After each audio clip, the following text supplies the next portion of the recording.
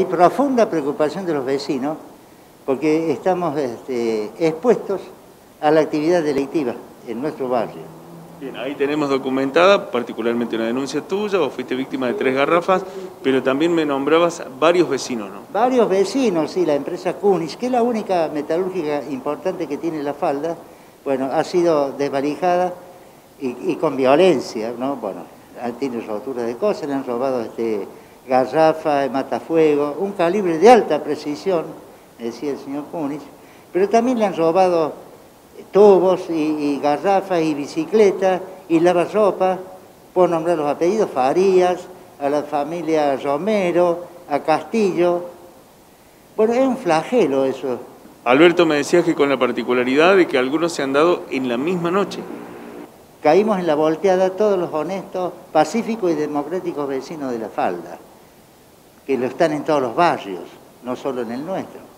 Pero dio la casualidad que eligieron esa noche para robar a, varias, a varios domicilios. ¿Cómo es la presencia de la Con violencia, con violencia.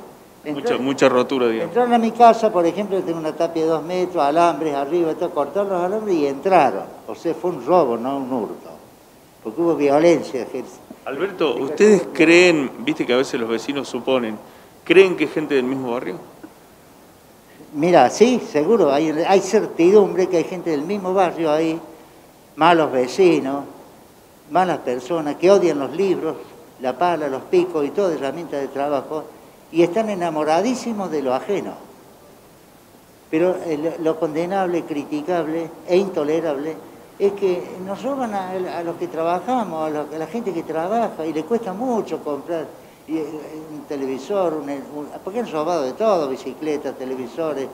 ¿Cómo ven, cómo ven la seguridad? La seguridad ciudadana de la ciudad, ¿cómo ven la policía? Hasta ahora brilla por su ausencia totalmente, porque ya han pasado ya como 15 días de, este hecho que, estamos, que estoy denunciando acá. ¿Y ustedes han hecho las denuncias porque veo que hay firma de muchos vecinos?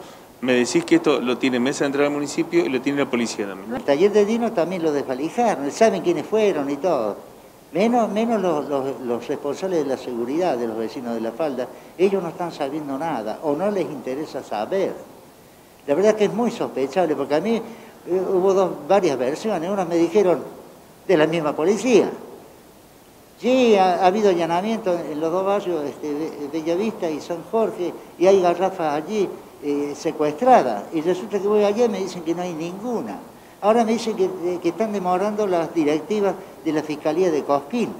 Entonces, para saber quién dice la verdad, quién miente, quién es el honesto y quién es el deshonesto, vamos a ir a una delegación de vecinos a la Fiscalía de Coquín si no prospera los esfuerzos que estamos haciendo aquí ante los responsables de la seguridad de la falda. Alberto, esto es un hecho concreto, creo que quieren ir iniciando la semana que viene, ¿no?